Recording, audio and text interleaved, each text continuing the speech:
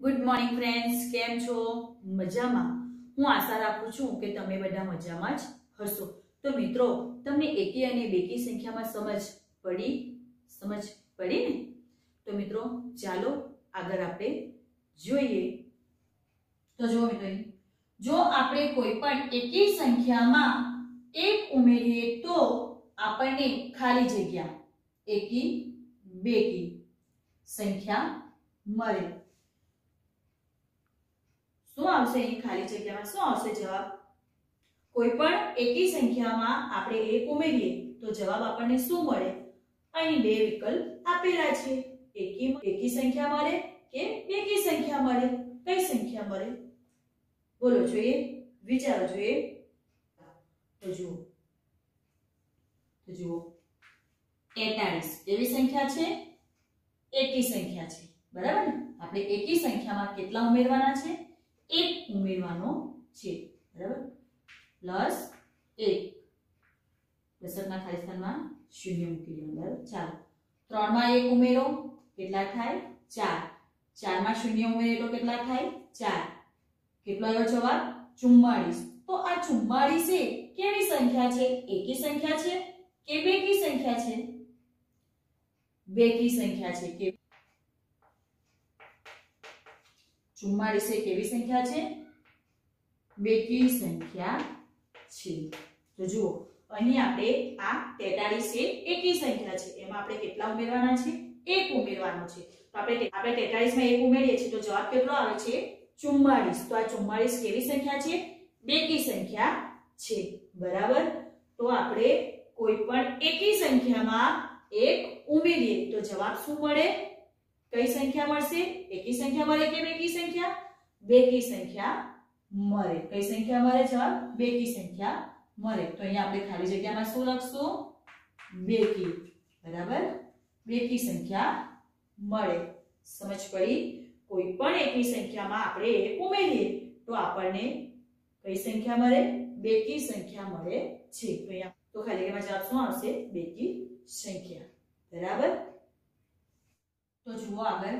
જો આપણે કોઈ પણ બેકી સંખ્યામાં એક ઉમેરીએ તો આપણને ખાલી જગ્યા એકી બેકી સંખ્યા મળે. શું આવશે જવાબ? ખાલી જગ્યામાં? અહીં વિકલ્પ આપેલા છે એકી બેકી, એટલે કે એકી સંખ્યા, બેકી સંખ્યા. શું આવશે જવાબ? બોલો જોઈએ. કોઈ પણ કોઈ પણ બેકી સંખ્યામાં આપણે એક ઉમેરીએ. તો જવાબ શું આવે? એકી સંખ્યા આવે કે બેકી સંખ્યા આવે? તો જુઓ, તો ઉદાહરણ 110 પ્લસ 1 110 એ કેવી સંખ્યા છે? બેકી સંખ્યા છે. આપણે બેકી સંખ્યામાં કેટલા ઉમેરવાના છે? એક ઉમેરવાના છે. એટલે કે આપણે બેકી સંખ્યામાં એક ઉમેરવાનો છે. બરાબર? તો જુઓ, ચાલો. 110 પ્લસ એક. અહીં દશક અને સોના ખાલી શૂન્ય મૂકી દેવાનું. બરાબર? ચાલો, આગળ જુઓ. સરવાળો કરીએ ને? શૂન્યમાં એક ઉમેરીએ તો એક. એકમાં શૂન્ય ઉમેરીએ એક. એકમાં શૂન્ય ઉમેરીએ એક. કેટલો આવ્યો જવાબ? એકસો અગિયાર. તો આ એકસો અગિયાર કેવી સંખ્યા છે? એકી સંખ્યા છે કે બેકી સંખ્યા છે? એકી સંખ્યા છે. એકસો અગિયાર એ કેવી સંખ્યા છે? એકી સંખ્યા છે.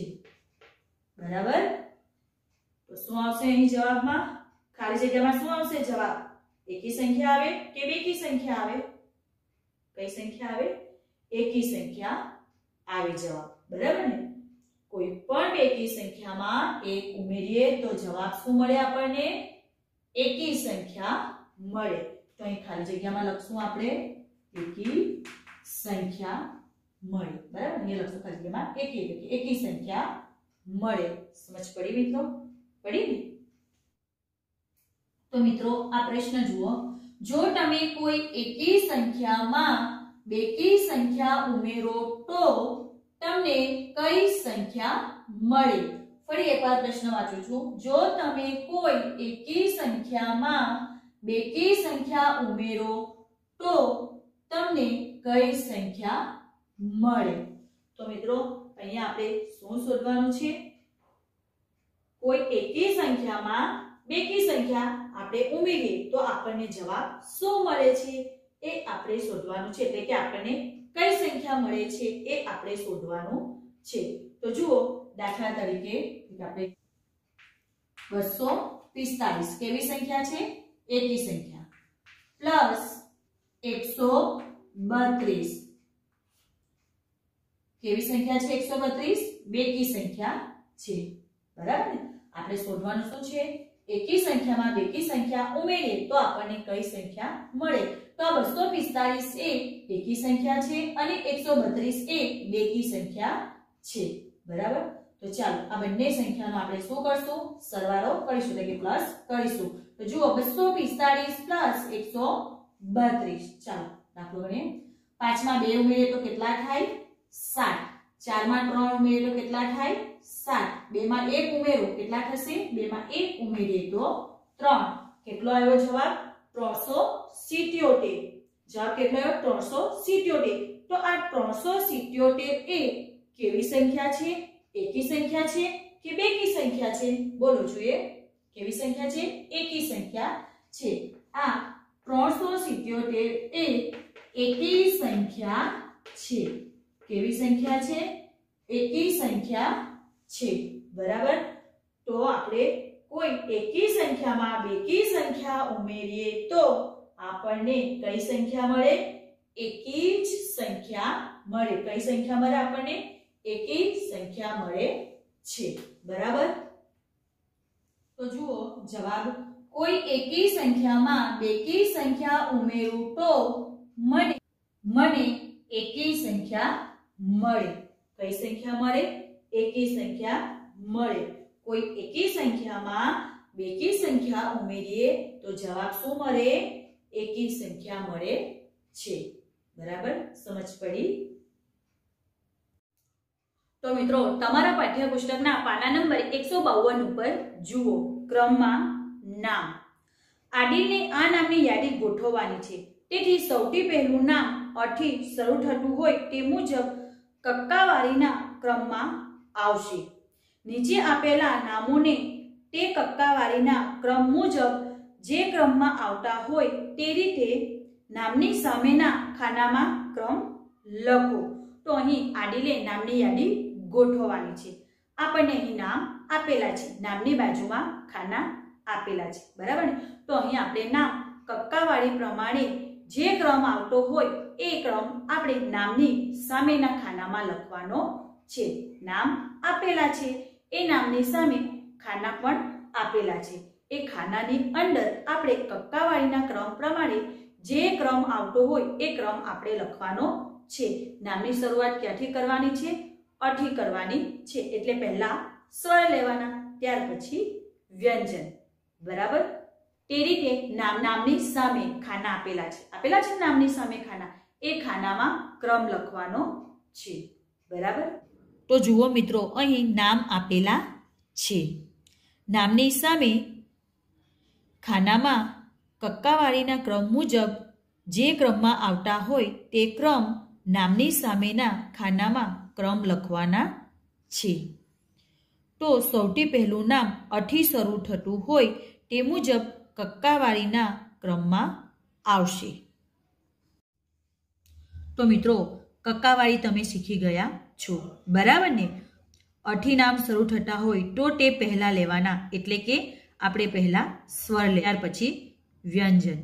બરાબર? તો જુઓ, અહીં અવાળું નામ નથી, એટલે કે અઠી શરૂ થતું નામ નથી. તો આગળ અ, આ આ ઉપરથી નામ આપેલું છે. શું નામ છે? આડે તો અહીં આવશે એક નંબર. હવે આગળ જુઓ.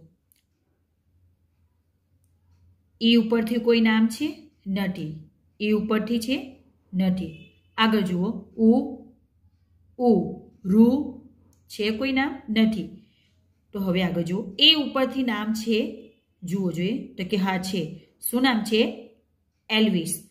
તો અહીં કયો ક્રમ આવશે? બીજો ક્રમ. તો અહીંયા આપણે લખશું બીજો ક્રમ. બરાબર ને? હવે આગળ જુઓ. એ એ ઉપરથી છે કોઈ નામ? નથી. ઓ ઉપરથી છે? નથી. ઓ ઉપરથી કોઈ નામ છે તો કે નથી. ઓ, અમ, અહ, છે કોઈ નામ તો કે નથી. બરાબર ને? તો મિત્રો હવે આપણે વ્યંજન એટલે કે હવે આગળ આપણે કક્કાવાળી પ્રમાણે જોઈશું. તો આવશે આગળ ક ઉપરથી કોઈ નામ અહીં છે તો કે હા, છે. શું નામ છે? કવિતા. તો અહીં કયો ક્રમ આવશે? ત્રીજો ક્રમ. કયો ક્રમ આવશે? કવિતામાં ત્રીજો ક્રમ. આગળ. ખ ઉપરથી કોઈ નામ છે? નથી. ગ ઉપરથી કોઈ નામ છે? એટલે કે હા, છે. શું નામ છે? ગુણિંદર. તો ગુણિંદરમાં આવશે કયો ક્રમ? ચાર. બરાબર? કયો ક્રમ આવશે અહીં? ચાર. એટલે કે ચાર નંબર આવશે. હવે આગળ ગ. ગ ઉપરથી છે કોઈ નામ? નથી. ચ ઉપરથી છે કોઈ નામ? નથી. છ ઉપરથી છે? નથી. જ ઉપરથી છે કોઈ નામ? તો કે હા છે. શું નામ છે? જલજ. તો અહીં કયો ક્રમ આવશે? પાંચમો ક્રમ આવશે. તો અહીં લખશું આપણે પાંચ. તો અહીં જલજમાં આવશે પાંચમો ક્રમ, એટલે કે પાંચ નંબર. બરાબર? તો મિત્રો મિત્રો, હવે આગળ તમારે તમારી જાતે આ પૂર્ણ કરવાનું છે. સમજ પડી? તો મિત્રો, આગળ જુઓ. જલજનું નામ વિશિષ્ટ છે. તેથી તે ગર્વ અનુભવે છે. જે તમે તેને ઉલટું વાંચશો તો પણ નામ તેનું તે જ રહે છે. જલજ પોતાના નામ ઉપર ગર્વ અનુભવે છે. શા માટે? કેમ કે જલજનું નામ પાછળથી વાંચે એટલે કે ઉલટું વાંચે તો પણ શું વંચાય છે? જલજ જ વંચાય છે. બરાબર ને?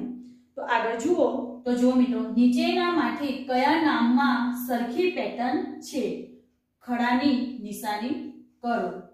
તો અહીં નામ આપેલા છે. કયા નામમાં સરખી પેટર્ન છે એ આપણે શોધવાનું છે. અને જે નામમાં સરખી પેટર્ન જોવા મળતી હોય ત્યાં આપણે શું કરવાનું છે?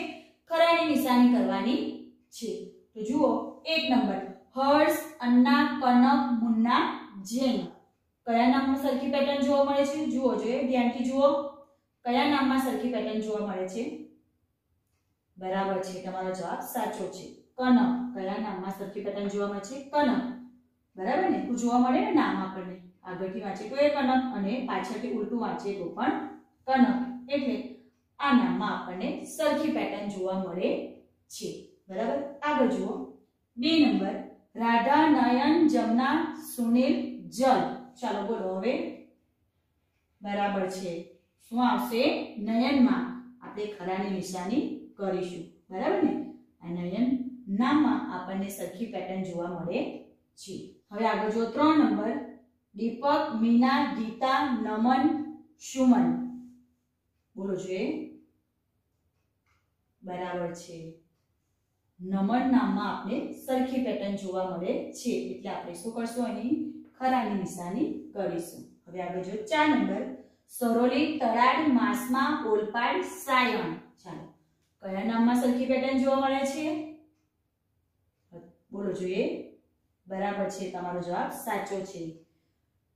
માસમાં નામમાં આપણે સરખી પેટર્ન જોવા મળે છે એટલે અહીંયા આપણે ખરાની નિશાની કરીશું. બરાબર ને? નામમાં સરખી પેટર્ન શોધવાની મજા આવે ને? તો મિત્રો મિત્રો તમે પણ આવા બીજા કેટલાક સરખી પેટર્ન વાળા નામ શોધીને લખી શકો છો. સમજ પડી? તો મિત્રો આપણે કાલે ફરી મળીશું. ત્યાં સુધી આવજો.